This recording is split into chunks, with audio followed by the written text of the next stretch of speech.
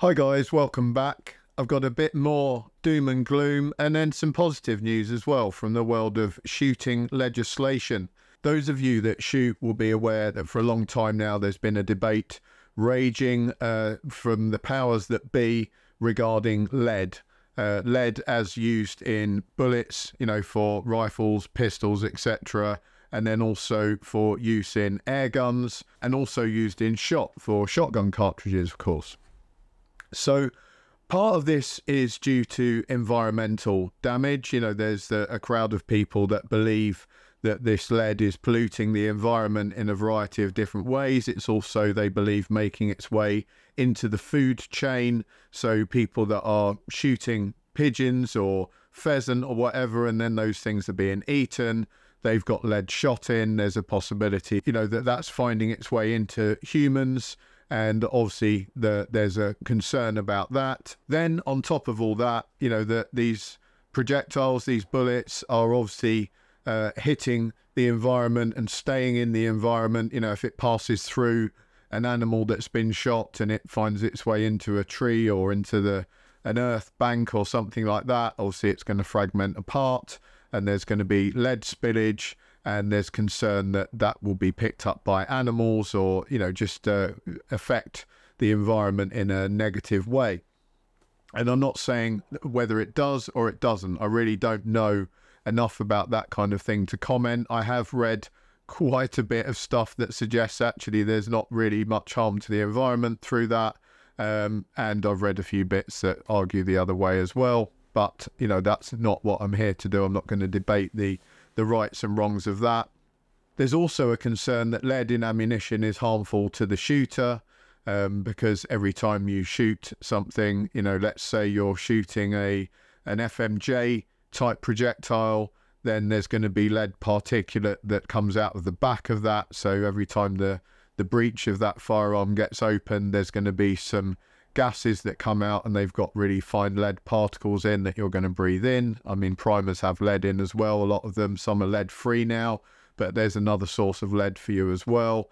And obviously, if you're shooting on a range and those projectiles are hitting a backstop and all gathering there, you've then got this kind of mass of lead uh, on the shooting range you're in. That's going to be a, a hazard to humans. And then, of course, you've got the manufacture of these projectiles to begin with.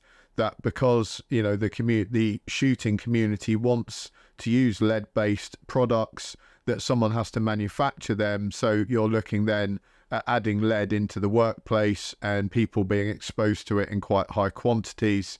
Uh, all the PPE and stuff that goes along with that. But you know, the generalized health and safety sort of theory is that wherever possible, you must minimize exposure to sort of toxic uh, elements and compounds. And one of the first ways you would do that is to not have it in the workplace at all if it could be swapped out for something that was less toxic. So this all started with the uh, REACH compliance, which was a European thing. Now, when we got out of Europe, everyone sort of cheered a little bit in the shooting community because many people assumed that we would just drop the REACH compliance. There was a few propellants that got banned under REACH. Uh, some of the American propellants we can't get anymore because they contain substances that fall foul of this REACH compliance measure. And basically that was where propellants were found to have toxic substances in. I mean, all none, no propellants are particularly safe for human health. Uh, they've all got some pretty horrible stuff in if you were to eat it or breathe it in all the time. Uh, but some of these propellants had stuff that they found could be swapped out for safer chemicals. So that was why those things got banned under REACH. The same thing was happening with lead throughout Europe you know, lead was falling foul, foul of this REACH compliance as well. So we didn't bow out. Unfortunately, the UK then started up a sort of UK REACH situation uh, through HSE, etc. The um, you know the health and safety guys that come around and make us all safer. I'll say that in inverted commas because often some of the stuff they do is slightly questionable and seems to be quite money orientated. But again, a subject for another video. But uh, they sort of seized upon this with this UK REACH compliance and they've been pushing towards a lead ban in shooting. This went to a consultation. So people replied to that consultation. We all had the opportunity to do that. And that then took about six months for the HSE and various different people to kind of read through all these replies and then come up with some sort of document of recommendations uh, for what they were going to do moving forward.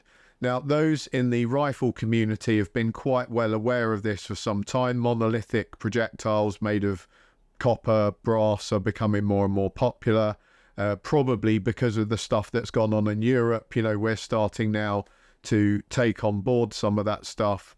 Uh, certainly, some places that you would shoot live quarry. I think the Forestry Commission, for example, has already banned lead.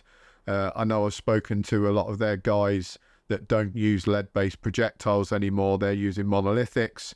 It is becoming slowly more feasible for people that are shooting centerfire rifles. One of the biggest uh, problems that I know the community were very concerned about was the airgun situation because unlike rifles which have access to these copper and brass monolithic projectiles, and shotguns, which have access to bismuth and steel. And we'll get into that in a minute because I know people are going to say, well, they're not great options, but we'll, we'll talk about that slightly.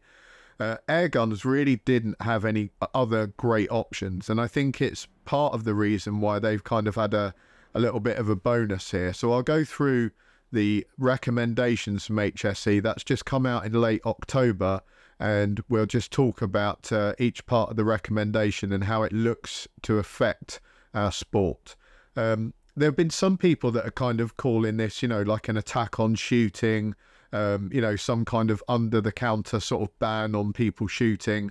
I really don't think it's that. The reach stuff goes through many, many different industries. There's all kinds of uh, industries and things that have been affected by reach. It isn't just lead in shooting, it's all kinds of stuff. So, wherever you are, whatever you're doing, there will be something that you use that has been affected by this reach compliance. And it's just the fact that the UK have chosen to carry on doing this reach compliance stuff which is affecting the shooting community. It's not some sort of weird conspiracy to try and remove guns off people. There are certainly other things that people are doing to try and remove guns off people, but I don't believe this is one of them. So I'll put a link uh, to this document below, and I'll just let you know the name of it. It's from HSE, and it's Agency Opinion on the Annex 15 dossier proposing restrictions on lead in ammunition, date 11th of October 2023 from UK Reach Agency. And they discuss at the beginning, like basically what we've just said, the hazards of lead,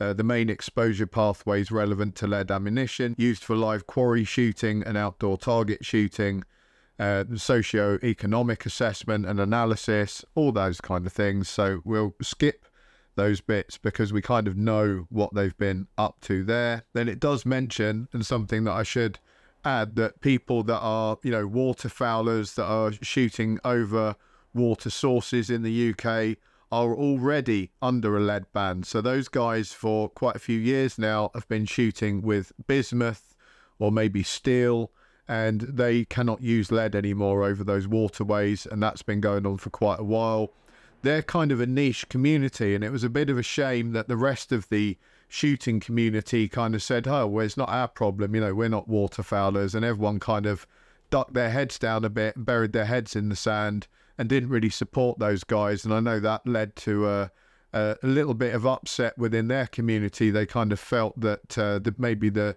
the shooting community as a whole should have pulled together a little bit better. And I think we can probably say that about every time something like this happens that you know if it's something that's going to negatively affect a part of the shooting community it's quite common that the rest of the parts of the shooting communities just sort of turn the other way and pretend nothing's happening because there's almost an attitude of well you know if i sort of keep quiet over in this corner no one's going to do anything to me because i'm a good boy and I'll, I'll leave those guys to kind of carry the can and, and they can get in trouble. And uh, you know, that's a, a, pretty poor attitude. You know, we should all be supporting one another no matter what discipline we shoot. So, the important part the proposed restrictions. So, we start off with live quarry shooting. So, live quarry shooting with shot, i.e., with shotguns, restriction on the placing on the market and use. So that is quite a, a serious situation that any shotgun ammunition that contains more than 1% lead, so it stipulates that at the beginning of this report as well, um, that it could have below 1% lead in it and it wouldn't be subject to any restriction. But of course, lead shot's going to have way more than 1% lead in it. It's going to, it's lead shot, so it's got a lot of percent lead in it. In effect, that will ban it from the marketplace. And don't get too panicked, people. I know people like to freak out on on, on these videos and kind of go, "Oh my God, he's saying that it's going to get banned." Well, this hasn't come into force yet. This is like the recommendations they're making. It's entirely likely it will come into force, but that won't be for some time. So we'll uh, we'll address that in a minute as well. Live quarry shooting with bullets. So this would be people, you know, doing uh, deer stalking, etc no recommendation in this document, waiting further information from the public consultation. So, as yet, they've got no recommendation. And some of the reason for that is because it's going to be difficult for these guys to navigate the people that are culling animals in a ethical and responsible manner using ammunition that's the best choice for the job, while also negating things like ricochet hazard, making sure you know the animal's dispatched properly with something that readily expands and, and does the job as it should and that isn't an easy sort of argument to have it's going to take quite a lot of uh, inputs from scientists ballisticians uh, and people that actually do that for a living probably with the uh, forestry commission etc uh, to have some further consultation on that because that's a difficult one to answer. And then live quarry shooting with airgun ammunition, no action. So great news for people that are vermin shooters with air guns. You know, if you're a pest controller and you're using air guns to take out rats, pigeons, all that kind of thing, there's going to be no change in the law. You're not going to be restricted whatsoever. Outdoor target shooting. So outdoor target shooting with shots. So this would be things like clay shooting, and it might extend even to things like practical shooting, for example. Restriction on the placing on the market and use, with a derogation for individual athletes as identified by appropriate sporting body. So again, another really serious one. This basically looks to ban all shotgun ammunition that utilizes lead shot in it and there would be some kind of caveat as yet unknown for certain athletes that would need to use it for whatever discipline they were doing. It doesn't say what kind of athletes, you know, it could be Olympians, for example, or it could be down to people that shoot at uh, club level competitions. It just doesn't say that. But one thing's for sure if it's banning lead for, or if it's banning lead uh, shot based cartridges in general from being sold, that means that it's going to be very difficult to get hold of them. The companies that produce shotgun cartridges are going to all move over to steel or maybe some other materials like bismuth, ITX, or whatever they're going to move over to. And that will mean that any lead based stuff that they do still produce for this sort of niche of competitive shooters is going to go up substantially in price because the whole reason that 12 gauge cartridges are kind of cheap is because that they can mass produce them and they're all using basically the same materials so they can buy the materials in bulk they can mass produce and automate the process and they can sell those things at quite a good price although they have gone up quite a bit recently but they're still at a pretty reasonable price when you compare them to other types of ammunition or even if you compare them to other uh, gauges for shotgun. You know, if you try to buy something for uh, any other gauge other than 12, you're probably going to think, well, that costs a bit of money. It's because they're more niche. They can't produce as many of them. They're not getting that economy of scale that they're getting with the 12 gauge stuff. Pretty bad news, you know, that even if you are one of those competitive shooters that's uh, uh, pointed out that, that can get around this piece of legislation, I think the cost of your uh, uh cartridges is going to go up considerably. Outdoor target shooting with bullets, restriction on the use with a derogation for use at certain sites. So there is going to be a restriction, and there's certain places where you will be able to shoot using standard ammunition, uh, i.e., you know, a, a copper jacket lead core. Now, I don't know exactly what they mean by that. I can take a guess and my guess would mean, having read some further stuff in this that they're talking about ranges that have a number of policies in place that deal uh, in a safe manner with the lead contamination. So ranges that de-lead on a regular basis and they keep records of that and they have health and safety procedures in place to make sure people aren't getting on the range and digging around in the sand or that kids can't run on there when it's not in use and kind of dig through the sand and pull things out of it and get covered in lead dust. Uh, there will be all those sort of stipulations in place and the ranges that are capable of showing that they do that, of capturing bullets in a certain place, of then you know, taking all the lead out of that place and refilling it back in again. And that is a lot of ranges, to be fair. Uh, then I would imagine that those are the ones that are going to get this exemption. Now, the ranges that would maybe fall foul of this, which is quite concerning. So, the ranges I believe that would fit the criteria would be no danger area ranges. So, they're completely sealed in ranges. They've normally got very high banks around them. They've got a great big bullet catcher at the back and that can be then accessed all the you know all the old lead taken out of it everything replaced the granules replaced etc and back to shooting again. One of the problems would be uh, ranges with a danger area. So places where you know you can still get rounds that fly over the bank at the back you know bisley has a large danger area behind it. So you do get occasionally projectiles that leave the range and fly across the back there. They shouldn't do because obviously everyone should be shooting into the butts but the fact of the matter is, uh, if you're out shooting at like 1,200 meters, I think that's the longest that you can shoot at Bisley. You know, there's no way that that berm at the back is big enough to catch uh, all the errant shots that go through it. And you only have to look at the backstop there. If you look at the numbers on top of the, the berm uh, on Stickledown at Bisley, you'll see that a lot of those numbers have got holes through them and that's where people have obviously shot over the backstop many times by accident. Some may even do it on purpose. Uh, but the fact is that a lot of the projectiles leave the range. There's a huge danger area at the back there where hopefully those things just drop into the danger area. No one lives in the danger area. A few deer wander around and stuff, but uh, there's no humans at the back there. It's a controlled area. And that would be the kind of area I would imagine that may fall foul of this because they cannot control the lead pollution into that area. They can't de-lead the danger area. And then there are ranges like uh, steel ranges, you know, that are set up with steel targetry on. Uh, there's a few of them around. There's a couple in Wales. There's a, I think, one or two in Scotland. I think there's one down in uh, Cornwall somewhere. And these are ranges that often use an estate rifle exemption. They're set up for steel shooting, so you'll have all these steel plates dotted around a, a mountainside that you can shoot at.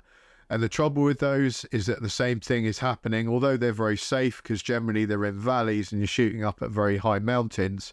So there's no danger of the projectiles actually leaving that area. The problem being is that there are projectiles being sprayed all around that area and into the hillsides.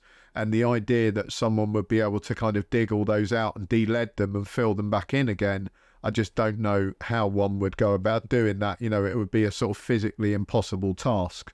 So again, they might be the sort of ranges that would fall foul of this and have to use monolithic projectiles only. Monolithic projectiles, uh, I design and make them myself. That's part of my job, uh, what I do at the moment. They're very, very effective. They're excellent projectiles. They're not currently the most cost effective things. They tend to be made on uh, CNC machines, on like Swiss lathes, and they don't get made to the huge numbers as the standard uh, lead core copper jacket projectiles do, which again, you're getting the economy of scale there. Uh, you know, because the military might use uh, certain 30 cal projectiles and they buy millions of them, you're going to benefit from the economy of scale that uh, the fact that these companies are buying in so many of those things to make for military you're going to get that benefit as well, the cost benefit, because they're obviously able to buy huge amounts of components in all the materials in a vast, uh, you know, cheapened manner, and that allows them to put them out at a good price as well. And unfortunately, monolithics just aren't like that. You know that they are they are quite a niche product at the moment. So the benefit in the long term would be that the monolithic projectiles will probably become far more numerous and will actually get a lot cheaper the downside is that in between times, these things are going to be very cost prohibitive to a lot of people because it's not cheap to shoot monolithics. And certainly in the smaller cal- calibers, you would have to, you know, ask yourself, is it even worth it? You know, if you've got a 556 bolt action rifle, a 223 REM, and you're shooting standard FMJ through that, which is comparatively cheap, and then suddenly you've got to switch over to monolithic, then, you know, I would question whether that's even worth doing because you're probably going to find a sort of a, a 65 grain monolithic 223 projectile is going to be about as much as you're paying for an entire round at the moment. So it's certainly going to put the cost up, you know, like double what you were paying previously. Now, interestingly, they're not preventing uh, lead bullets from entering into the marketplace like they're talking about doing with shot for the shotguns. So you will still be able to buy standard lead core copper jacket projectiles. Uh, they're not being banned for live quarry currently, so that's one of the reasons that they're not limiting them on the marketplace. And they will also be allowed at these ranges that are, you know, we just discussed that may have been taking the correct precautions. And that, to be fair, is going to be most ranges. So most people are going to be able to still buy the same projectiles. They're going to still be able to shoot them at their local club ranges that have all those things in place to make sure it's you know safe to clean all the lead out and, and keep a track of all that kind of thing. So it won't affect those people. It, it is only going to affect quite a, a niche number of shooters, but still, nonetheless, that's going to be an issue. So then at the end, it talks about transition periods. A transition period for the placing on the market and use of lead shot cartridges of five years is proposed. This is based on information by manufacturers on reasonable timescales required to scale up production. This, transition period would apply to all uses of lead shot. A transition period of two years is proposed for the prohibition on lead bullets for target shooting whilst it is expected that most shooting ranges already have risk management measures in place. So that part there isn't actually saying the ban on bullets, you know, that they'll all be banned in two years. Like we've just discussed, there will still be bullets available on the market that have got lead in them, and you will still be able to use them at certain ranges that fall within the prescribed criteria. So what that two years is saying is that it's going to give ranges two years to bring their standards up to spec so that you can continue to use the, the lead core copper jacket stuff on those ranges and the ranges that choose not to bring them up to spec in terms of whatever the, the health and safety requirements are for dealing with lead at a range, then those guys after two years will not be able to shoot any lead based projectiles on that range. They will have to switch to something else like the monolithics that could be a problem for some ranges that are concerned about ricochet hazard, etc. Because I know there are some places that won't allow monolithics because of ricochet hazard, and they may not be able to bring themselves up to spec to deal with this sort of lead criteria that they suddenly have to fall into in two years. So unfortunately, those would be the ranges that are going to really struggle and are probably going to end up being shut down.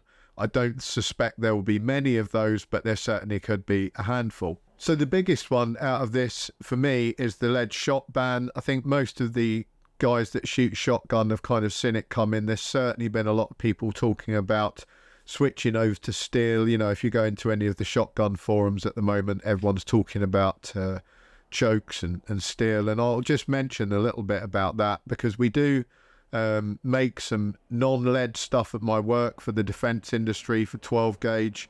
So we have a little bit of a, a background in that. Lead is obviously preferable for 12 gauge because it's really dense, is quite malleable, so it doesn't tend to damage, you know, shotguns when it reaches the end in its wad.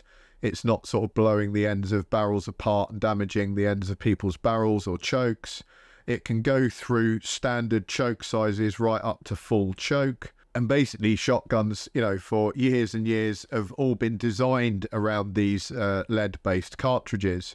Hence, the choke range is designed around those lead based cartridges. So someone could use, you know, anything from a cylinder up to a full choke with most lead based cartridges, and it would be absolutely fine. Everything would move through the shotgun with no safety concerns whatsoever. Now the problem comes with steel. Uh, it's less dense, obviously. The same thing with with other materials, but specifically steel is a lot less dense. And in terms of the cost, that's probably what most people are going to switch over to because things like bismuth and ITX are quite expensive.